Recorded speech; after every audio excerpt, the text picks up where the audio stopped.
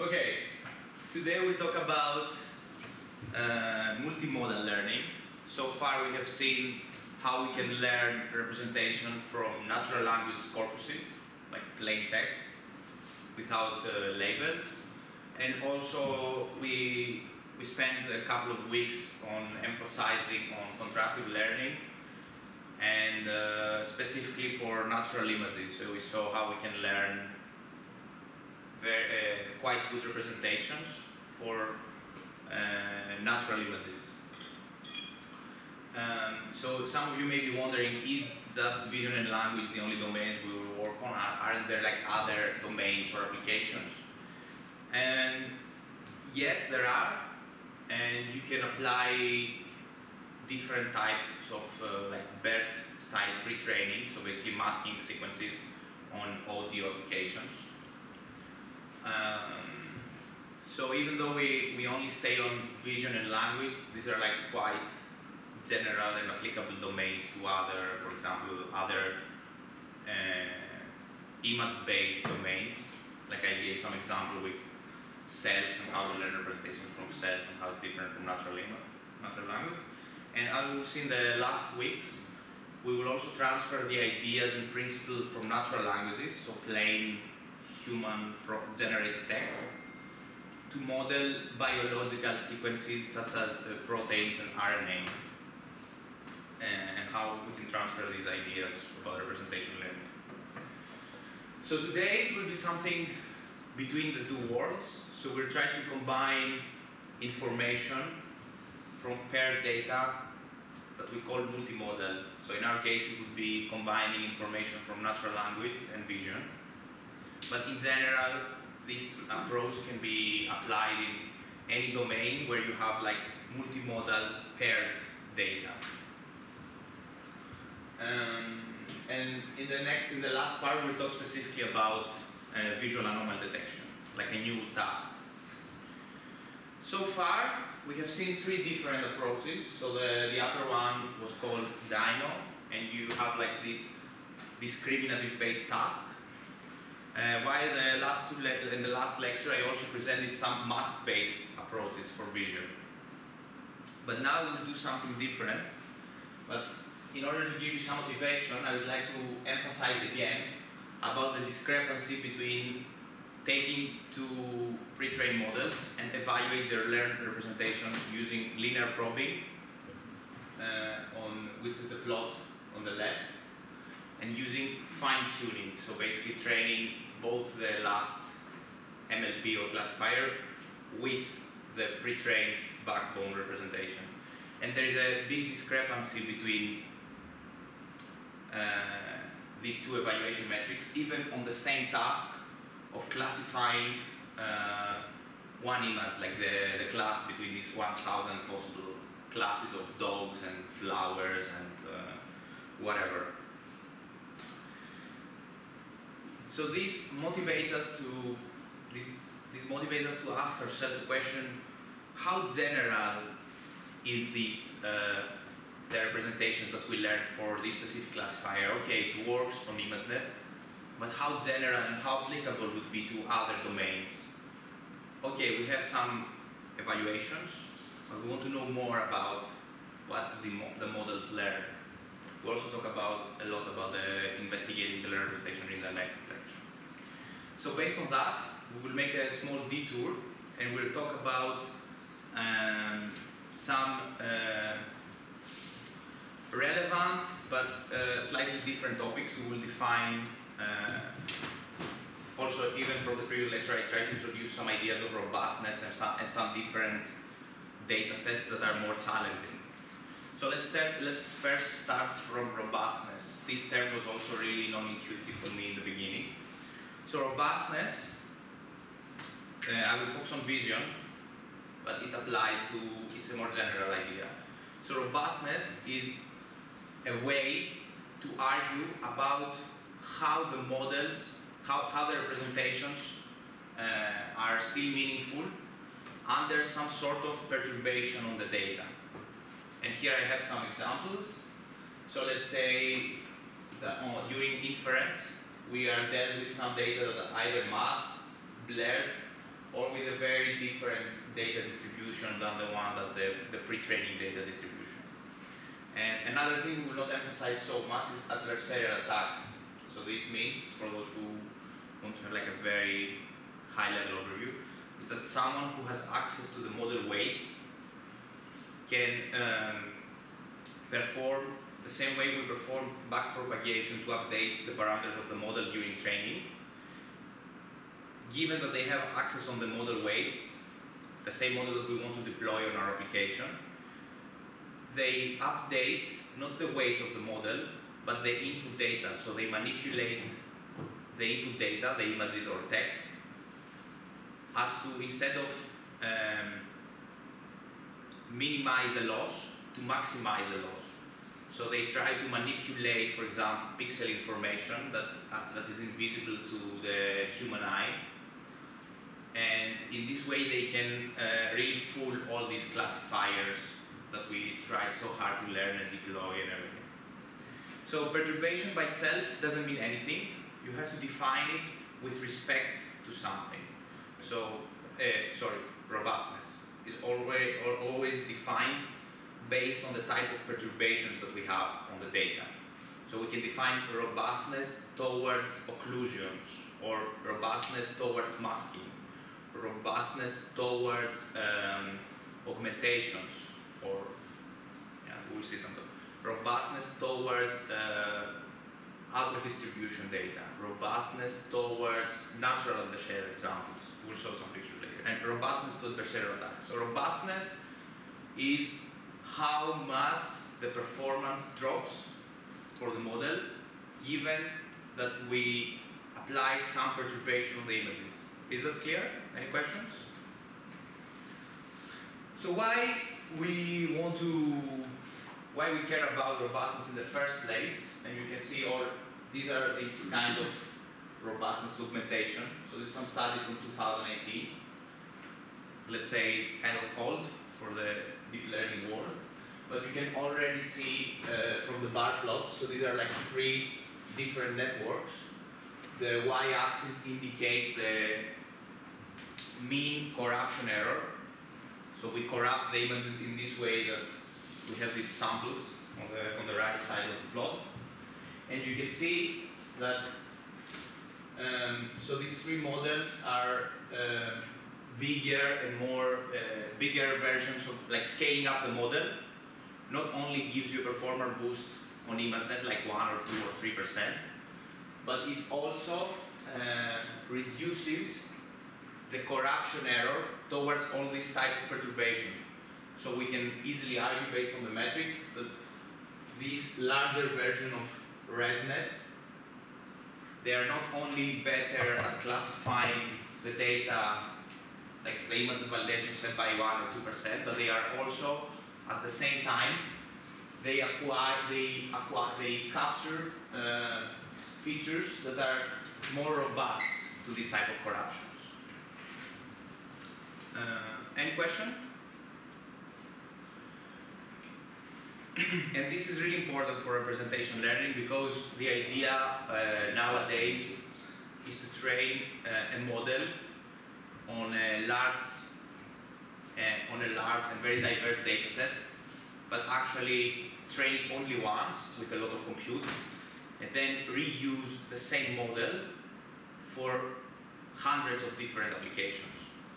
So this is this is the the tipping point from the last years. So five years ago, things didn't work like that. We had like for each task we had uh, some sort of an a specialized network that was meant to be the best approach for this task, but and trained from scratch from random initialization. But nowadays we have these big models that are also called foundational models since one year, and we train them. Not us, but usually the, the companies who can afford all this compute. They train them once uh, with a lot of data and a lot of compute, and then we we try to leverage them for various downstream tasks. So we want these models to be robust to all these type of perturbations, ideally, yes? But the tasks here are like uh, limited to a specific domain. Like if we're dealing with natural images, Yes, on the same on the same domain, but on hundreds of different tasks, like instance segmentation we talked about, semantic segmentation, object detection, uh, cell count or counting, or uh, personal identification. Cell count doesn't apply because you're in natural personal identification. You can define hundreds of tasks on top. And here uh, we have these different. Here we have on the on the, the, the different rows indicate samples from uh, images of bananas, but on different uh, distributions, as we say, on different data sets that are constructed in such a way to be significantly different from the ones on ImageNet. So these are sketches, much more abstract. These are uh, adversarial, it's called. Uh, I will present, this is like uh, different renderings. This R corresponds to red renderings. Uh, and this is also some more diverse data sets. And if you pre-train this ResNet 101, so a very large model trained from scratch with supervised learning on ImageNet, it, it performs poorly on the other data. Here you can see the result is uh, we usually me- measure the performance degradation. So an ideal model would have the same score towards all these data sets because it's a model that needs to classify bananas. So the ideal behavior would be to have 76.2 accuracy. And the worse the model gets, the less robust we say it is. So we know that uh, supervised pre-training from scratch leads to very bad, uh, leads to very poor representations with respect to distribution shifts, because the model is incentivized to learn everything that, that, that exists on the dataset just to classify the current images. Any questions? So these are, I present also in the end of the previous lecture, so these are some very special type of images, they're called natural adversarial examples. So adversarial means that the model has a very hard time to recognize the samples, but they are uh, natural with respect that we don't manipulate pic- the pixels of those images adversarially with some sort of backpropagation or training. These are just some images that the model has never seen, or types of images, like uh, we'll also talk about satellite images, example, that the model has a, a very hard time. And this is uh, an image, this is the real class, so this is like a photosphere, and the model is kind of always biased towards classifying as a jellyfish with a very high probability. And this is, um, these are two data sets that's called image O and A that are really uh, difficult for the model to classify, especially for supervised models. And this is the different renderings indicated by the descriptions below the images. So it's not the real class, it's just the different types of renderings. So the model needs to be invariant to this type of rendering, to, to rendering types, to different rendering types to be able to still recognize the correct class. The sketches, and uh, this is uh, the models we have presented so far in the course, apart from the top one we talked today. So this is the masked autoencoder, this is the Dino, this is the iBOT who takes Dino as a baseline and adds this mask image modeling on the patch level, try to, we mask some patches and then we try to reconstruct them with, reconstruct their features with cross entropy. Um, and this is the latest state-of-the-art model that relies only on the visual signal, only on images. so the second question is, okay, we have some data set, but we also want to know, uh, we also want to argue about this uh, divergence, this discrepancy between training uh, linear probing, training just a classifier on top, versus fine-tuning. So here we'll define some uh, additional uh, terminology. So the first one is called few shot learning. What does it mean? Um, so it means that for the downstream task, we have a very limited number of examples. So instead of having the whole ImageNet, we have 1% of those data available. And we want to learn based only on the 1% of the data. So this enables us to argue about how these representations can transfer even with very few samples per class. Um, and uh, a couple of years ago, uh, one very common approach that I have here on the image on the right would have to would be to to use this kind of pre-training where you have this multitask learning. So you have like uh, some images you, you can imagine the application of autonomous driving where you want to identify stops, you want to identify pedestrians, you want to uh, segment objects, you want to have the road lines. So it's a type of multitask pre-training. And uh, you, have some annotated data and you pre-train on all those tasks. And all those different heads, as you can see here, task A, task B, task C, which are like specifically specific classifiers for its subtask, share some layers. So this is like the let's say old way of doing things again, for or five years. And then we have the zero shot learning. So this is a bit more tricky. So you have again a model in general that's trained with either supervised or self-supervised learning, it doesn't really matter. We have which has seen some specific number of classes or images. And then you want to use this model without any tuning directly for testing to unseen images. And to do so, you need some uh, additional information, as we will see. And this used to be in the, in the past years. I'm providing some context for the approach that we see today. Um, so you need this auxiliary information. So for example, on the image on the right, uh, you have these uh, attributes or uh, semantic information that you try to map those images to different attributes. So a value uh, one, for example, on this attribute indicate that this image has a tail, and then you try to kind of come up with a way to map those attributes to classes.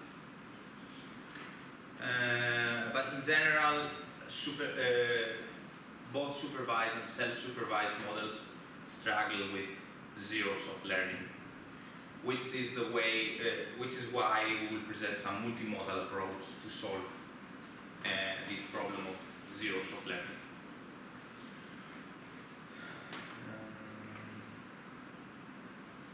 So the approach we will discuss today is called uh, CLIP. This is the abbreviation, and uh, it means contrastive language image pre-training. So language image, it means that we have two domains, language and vision, natural language and vision. Contrastive stands for the contrastive loss we have seen already. And you can also find this in the literature as natural language supervision and I will explain how it is different from annotating a single class to an image, or weak supervision. So why we call it, why we come up uh, with a new term.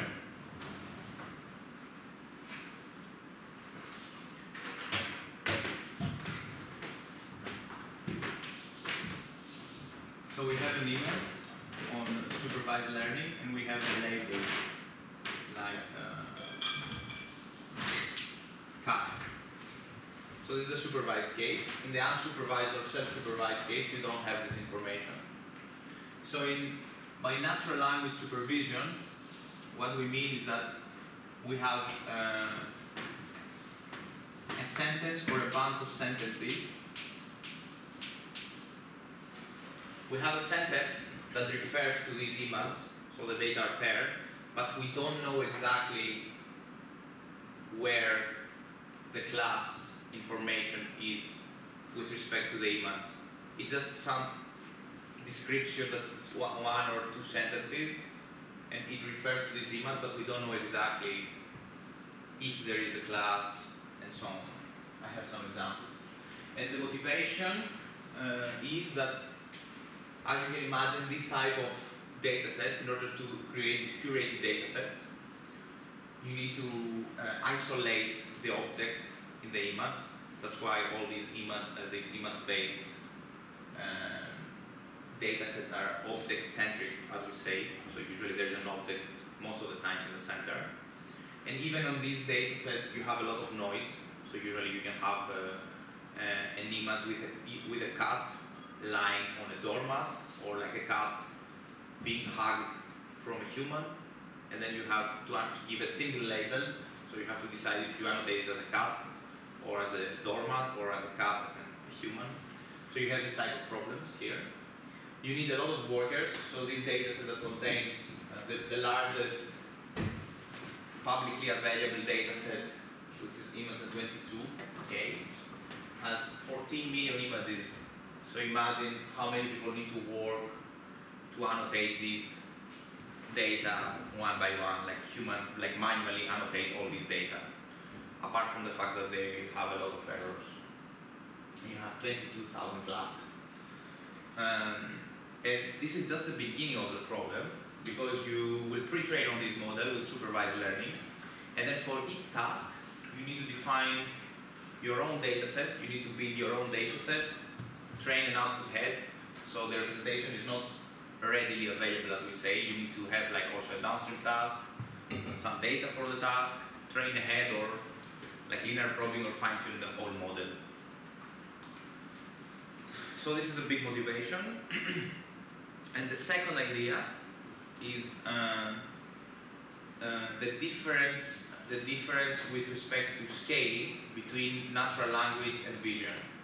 So in natural language, the scale of which we can train models across thousands of GPUs and uh, billion scale billion scale parameter uh, billion scale parameters. Yes, I think the largest model is more than five billion parameters at the moment, and even publicly available. Uh, in vision, just recently there was the first billion scale model. So the idea um, uh, here is how can we, what would be a, a, a good way to, to move to, to go to scale up in terms of model parameters uh, by leveraging this multimodal uh, nature of data this type of data sets maybe will help us scale up the models even further for vision. so the idea is let's find paired data. We cannot have this type of supervision that are like humanly annotated. We are going into, as we say, like images that are on the wild, so images that there exist on the web, like Instagram images or Flickr images. However, instead of a single class, a single object, these images have sentences corresponding to. Uh, so, for example, here you can see. Let's take uh, this one that's that it's like a description about somebody who uploaded a video about the, an image about a hotel. So we know that there are abundant data that we can find online. And they are paired, even though they are not like perfect annotations. That's why we call them weakly supervised data or naturally language, natural language supervision. And the additional benefit is that here we have a lot of diversity or variability on those data because we collect them on the wild. We will argue about the variability later on. So what they did in this uh, first paper from OpenAI in 2021, uh, almost two years ago. Um, they found on Wikipedia the, the most frequent uh, queries, so the, the, the, people, the, the concepts that people search more on Wikipedia, the 500,000 topics that people search are interested in Wikipedia. And based on this text, they searched for images on the web that include this text. No neural networks and stuff, just pure cells. and then they just sampled a couple of, of those data. So here they say per query about 20,000 per data to create this sort of balancing. Uh, and they consider the queries all the topics that are uh, at least 100 times referred to in the Wikipedia, so what people are mostly re- interested in. Okay. So let's say we have the data. What do we do? What would be the uh, the easiest task, the easiest um, pretext task to create on those data? Do you have any idea?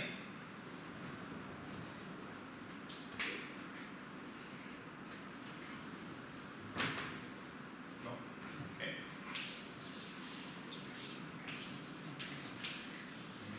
So we have a model. The easiest.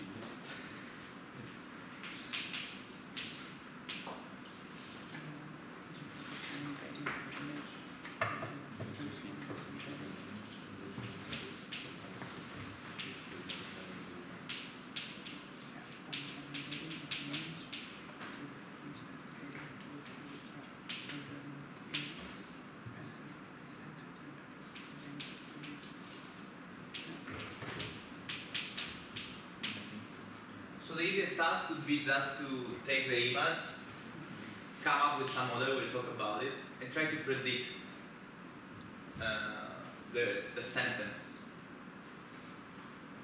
Um, and this can be done again. You need to output some sort of uh, different. Uh, okay, you need to pad to the maximum sequence length, and then here you have some word predictions where the maximum number of words is the vocabulary, so you need to have some vocabulary, and then you try to predict, for example, I don't know, maybe cross entropy or something like that.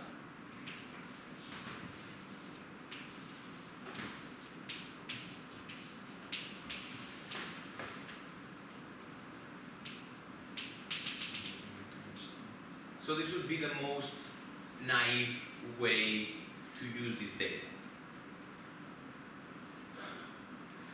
So this solves the problem of leveraging the data, but we still have a model that predicts some classes, and then we probably need to fine tune it at some way for some downstream task.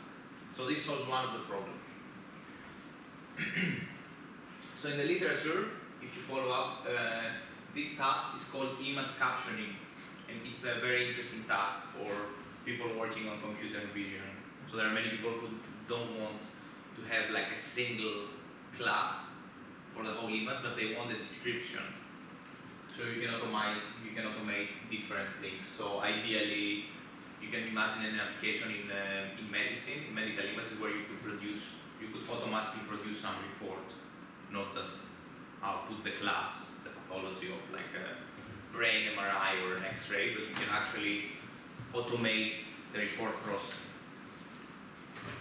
Um, and these models are usually encoder-decoder approaches.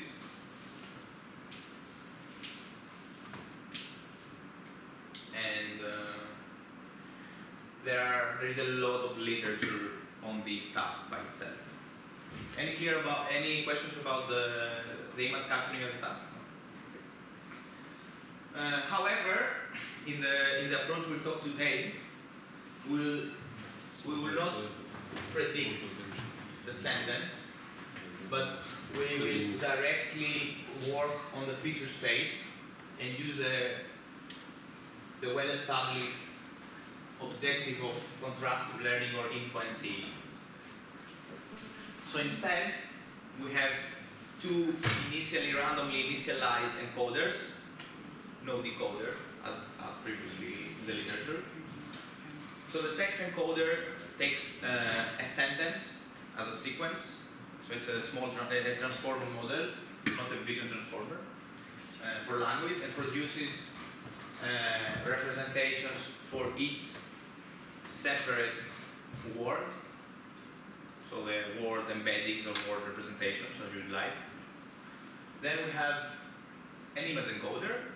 You can think of like a ResNet or a vision transformer, which uh, gives you. Uh, ah, sorry. One detail that I missed is that these uh, different representations are for.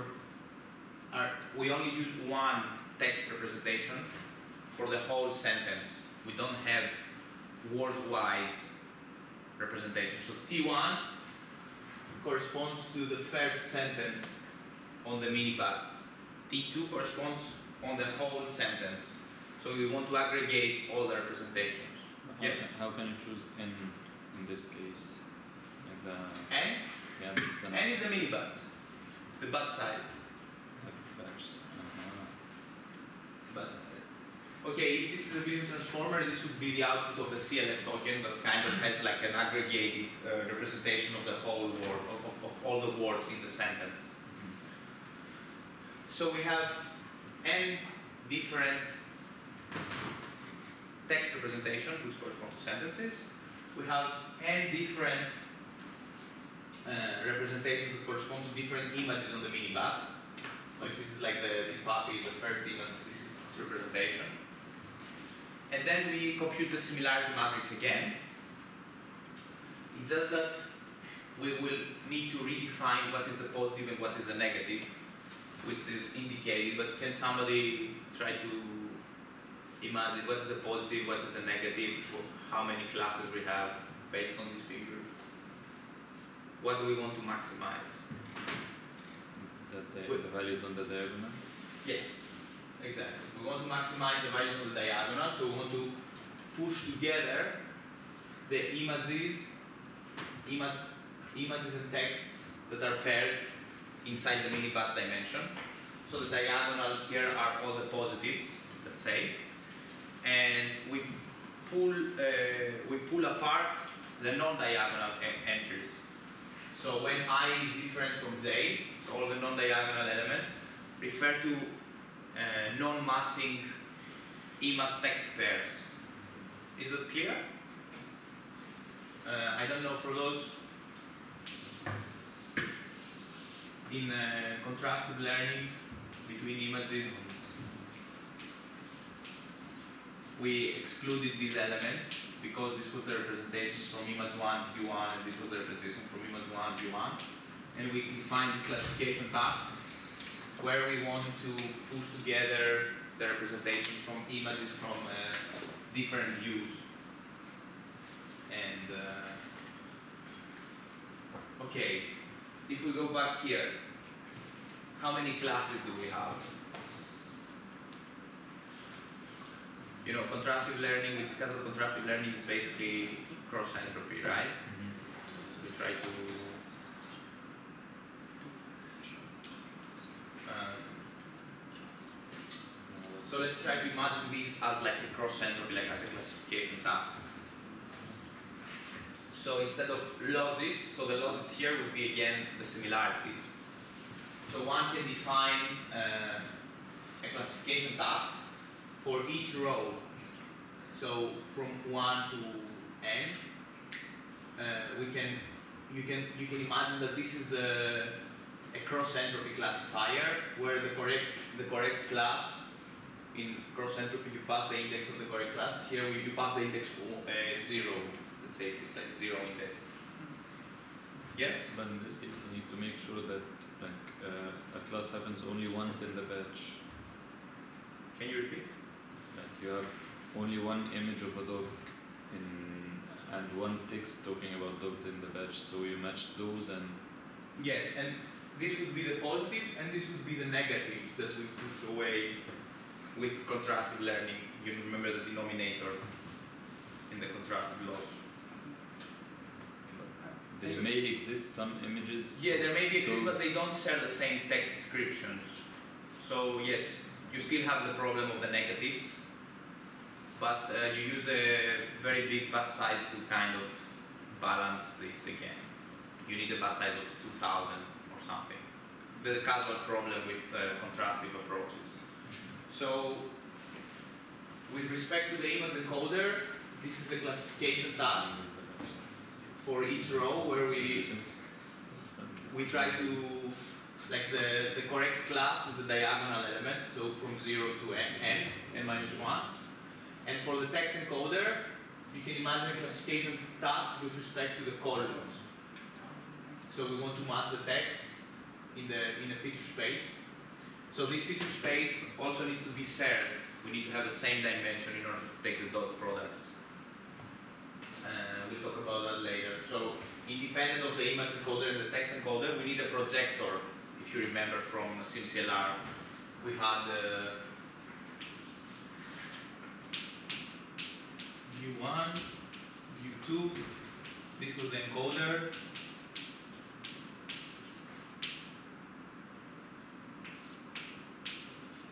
And this was the MLP, where they did all this analysis so that this is beneficial, and this was called uh, projector, as far as I remember. F, Z. So you minimize the loss here, but then you use those representations. So in our case, this would be the image and text encoder, we want to use the representations. And here, uh, instead of an MLP, they just use the linear layer because they didn't find, when you have different domains, multiple domains, they found that it doesn't really matter if you use an MLP or a linear layer. So they just use the simple layer.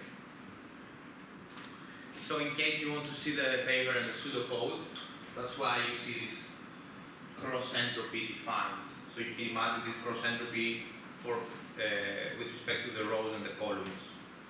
Uh, for those who want to check the code, and I also include the multi GPU implementation if you are interested to see how these stuff are implemented in in, in practice. Um, so one of the findings is that they did they like a small finding, let's say, is that they use a linear layer instead of an MLP. Um, so the critic or the projector is just a linear layer here. So this enables us to use different types of models and sizes for the text and image encoder. Alright, so the baselines. So here we go back to evaluating how data efficient is this model and how does it compare to different baselines. So in research, if you want to propose something, you already need to have like existing baselines. And for that, they, they use these um, some models that uh, are trained with the with the with the task of image captioning, so directly predicting the sentences. So the the orange uh, line corresponds to uh, a method from 2016 that predicts the exact uh, sentence. Um, this one is another baseline, not really useful. They just try to train a model that is initialized from from natural language, and they don't provide a lot of information as to why this model, how this model was trained. So the bigger um, gist is this efficiency, this 4x efficiency that you see on the on the arrow.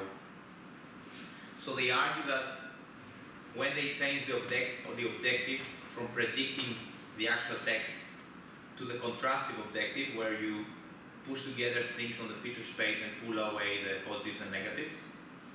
Uh, it's the exact same objective that we use for natural images with different augmentations. Instead of here, instead of having two views of augmented versions of an image, we have the image representation and the text sentence representation. And we pull those together. Is that clear? So, um, you can see here how this model scales up and when the model is much more uh, efficient, like sample efficient, so the more you go um, on the upper left side of the curve, the more data efficient is the model.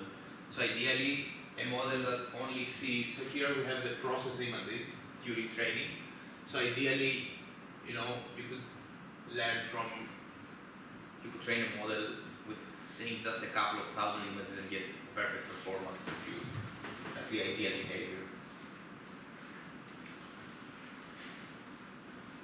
There are there are follow-up works that uh, argue that uh, the main advantage is not the objective itself, but the diversity of the data. Uh, so this 4x data efficiency with respect to the image captioning is really questionable. And I'm also not pretty convinced because they use a baseline from 2016, why they could use something more, like a more sophisticated uh, image captioning framework. Um, so we have a data efficient model in any case. Uh, this is the first motivation that I said about scaling up the model, the data, using more compute. And the second advantage of using this contrastive learn, learning based objective is that you can directly use it without training a model on top to do zero shot uh, classification. How? Um, we discussed on uh, that you need some auxiliary information for zero shot learning. So here the auxiliary information is that you need um, so for each image classification task you just need to know the labels. Okay, and what do you do with the labels? You have the text encoder and you pass not exactly the labels see, but this kind of you convert all the different label or class names into a description. A, a photo of a cat, a photo of a plane, and stuff and so on. And using this auxiliary information of the label names, you learn you you don't learn, you do inference from the text encoder.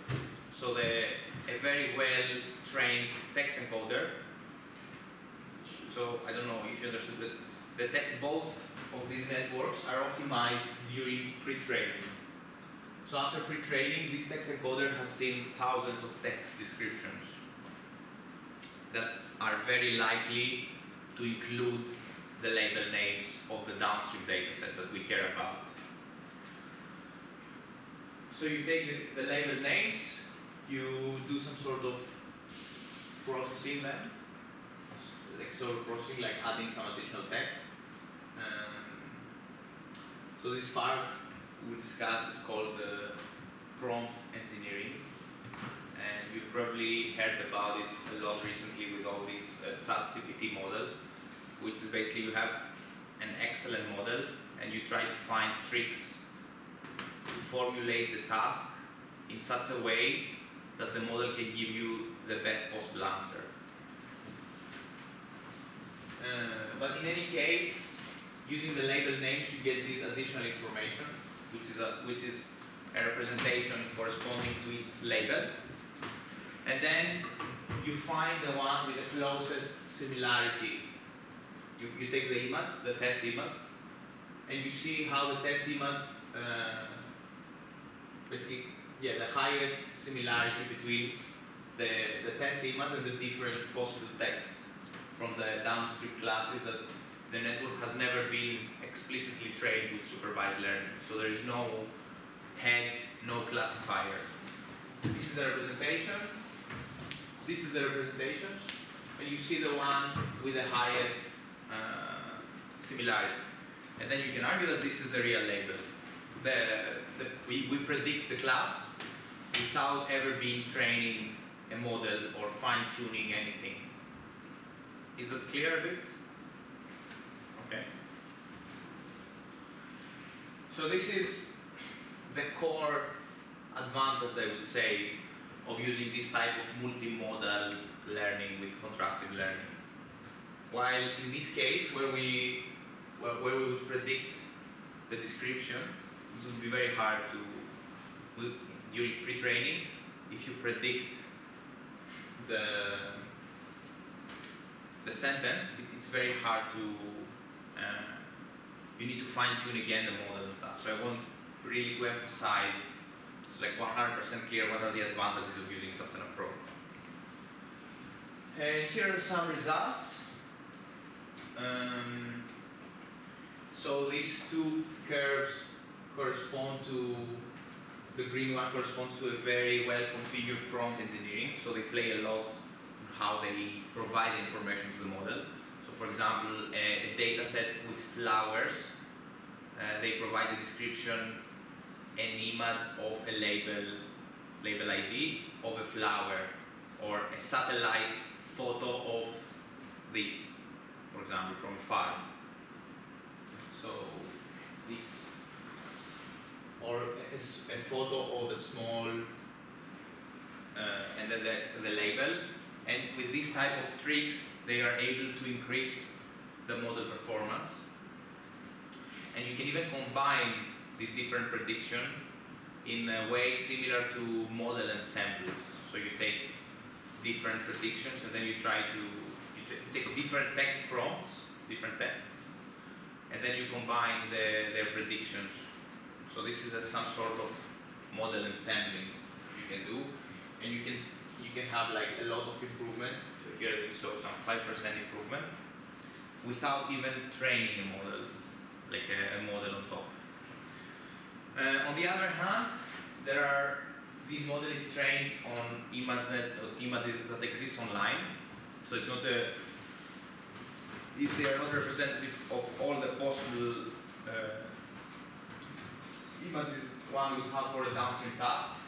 And for example, this one, this is the this is the difference. So this is like a bar plot, and it shows the difference between a supervised model, fully supervised uh, ResNet, I think, versus zero shot uh, CLIP.